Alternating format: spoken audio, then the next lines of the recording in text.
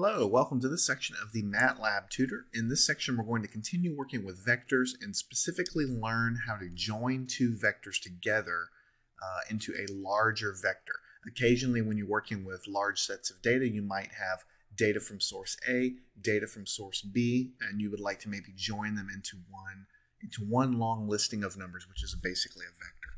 So the way you do that is very, very simple, actually. So let's say you have vector 1, we're going to call vector 1, and we're just going to define it to be whatever we want. We'll call it 1, 2, 3, 4. All right, so we can go ahead and put that on the screen. Vector 1 is now created for us. And we can create vector 2 and set that equal to, um, let's do 7, 8, 9. So vector 1 has four elements, vector 2 has three elements. So both of these vectors are created. Now let's just pretend for a second that vector 1 was some data from, I don't know, classroom A, uh, some grades or something, and vector 2 is some data from classroom B. And for whatever reason, in, in, the course of your program or in whatever you're trying to do, you would like to join these into one vector, in other words, one listing of numbers. Um, there. So rather than defining a new vector, you know, of course, these are so small, you could just type 1, 2, 3, 4, 7, 8, 9. But what if you had, you know, vector 1 was like 55 units long and vector 2 is 36 units? How would you join them together easily?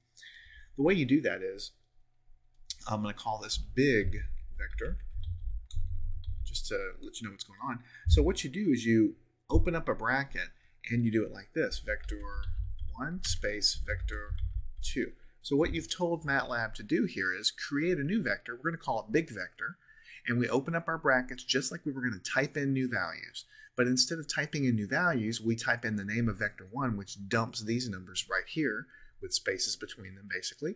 And then we put a space and we say vector 2, which dumps these numbers in. So the end result is a new vector we call big vector with 1, 2, 3, 4, 7, 8, and 9.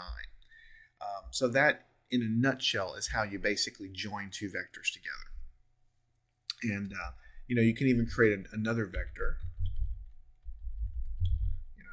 and you could do things like uh, maybe you want to instead of joining vector 1 and 2 maybe you want it to contain uh, the elements of vector 1 with some additional numbers at the end. Maybe a negative 2 at the end negative 6 negative 7 at the end or something like that. So now we're creating another vector and the first few elements, the first four elements, are going to be what we already defined as vector 1, and then we're going to have three additional elements at the end.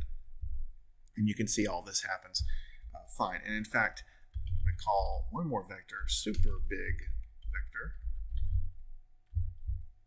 And we can do vector 1 space vector 2 space 100 space 102 space 103. So let's say I want to create, you know, a, a mammoth vector. I'll put the elements of vector 1, elements of vector 2, and then I'm going to have some numbers at the end just for whatever reason I have some new data I want to go ahead and put in that vector, and you can see it behaves exactly the same.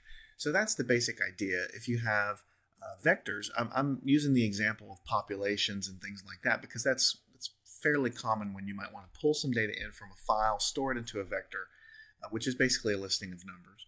And then you have another file, you're pulling it into another vector, and then maybe you want to, to join these things together or to uh, do something of that nature.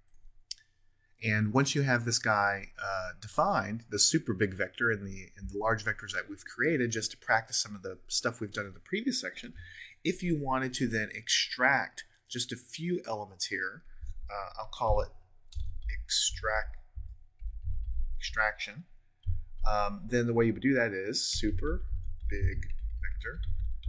Now, if I wanted to extract a single element, I would do something like element 4, right? And, uh, and that would basically take uh, element one, two, three, four, the number four, and it would put it in here. But if I want a range, maybe I want to extract elements four through six.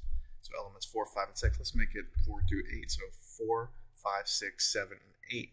Those elements will be extracted and stored in this vector I'm calling extraction. And you can see they're pulled out and they're put into this vector here. So we're learning how to deal with vectors. We're learning how to define them. We're learning how to operate on them before with dot and cross product. Now we're learning how to join vectors together. We've learned how to extract elements from vectors and how to extract subsets of elements from vectors.